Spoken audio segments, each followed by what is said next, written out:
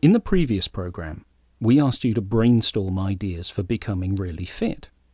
When we ask people to do this, most of them find that they can create 10 to 20 ideas quite easily, but then they often get stuck. And what's worse is that if you were to compare your list of ideas with someone else's, you would probably find lots of them were identical. So, how can we get beyond our creative blocks and create more unusual ideas? Well, that's where the more advanced creativity tools come into play. Over the next four programs, we'll introduce you to some tools that will extend your brainstorming in lots of different directions and help you create many, many more ideas.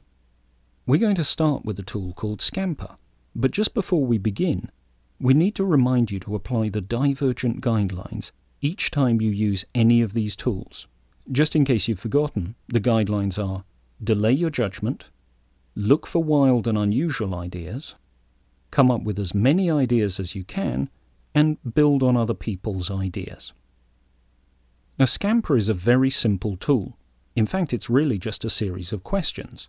But don't be fooled by its simplicity. Each question is designed to stretch your thinking in a different way, and when used correctly, the results can be quite remarkable.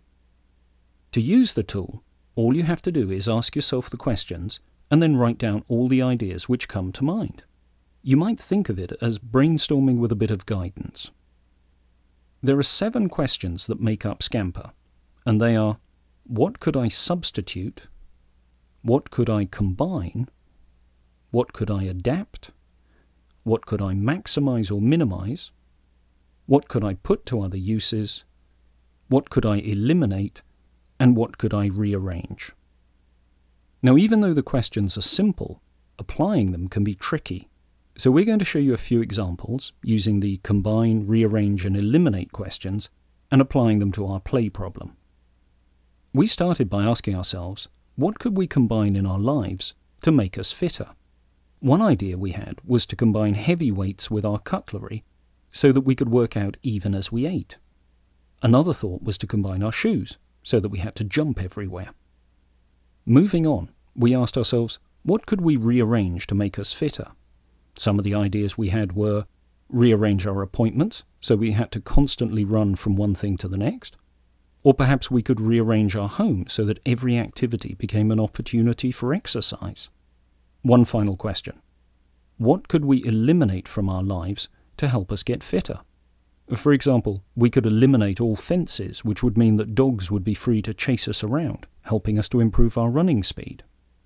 As you can see, the process is very simple, but focusing your mind using these questions can really help you to explore areas that you may not have thought about and remember not to judge the ideas as they come to you, no matter how strange they may seem at first.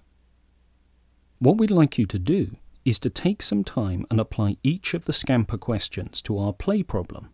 The order of the questions doesn't matter, so please start wherever you want. It's likely that some questions might stimulate more ideas than others. Don't worry about this. But please don't give up on a question too soon. Sometimes it takes a little while for the ideas to start flowing. See you in the next program.